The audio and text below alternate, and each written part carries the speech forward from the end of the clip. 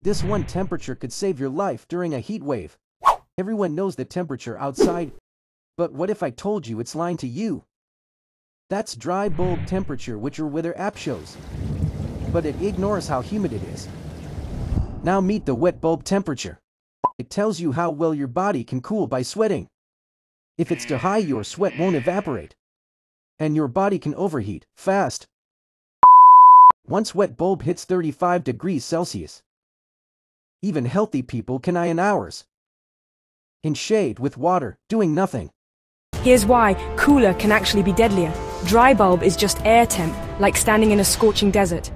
But wet bulb, that's air plus humidity. If sweat can't evaporate, your body can't cool down. 28 degrees Celsius, wet bulb can be lethal. So watch out for heat and humidity. Know the difference. Hot days aren't just hot. Some may Please kill you. subscribe!